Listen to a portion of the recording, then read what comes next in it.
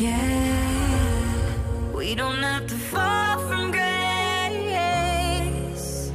Put down the weapons you fight with and kill them with kindness. Kill them with kindness.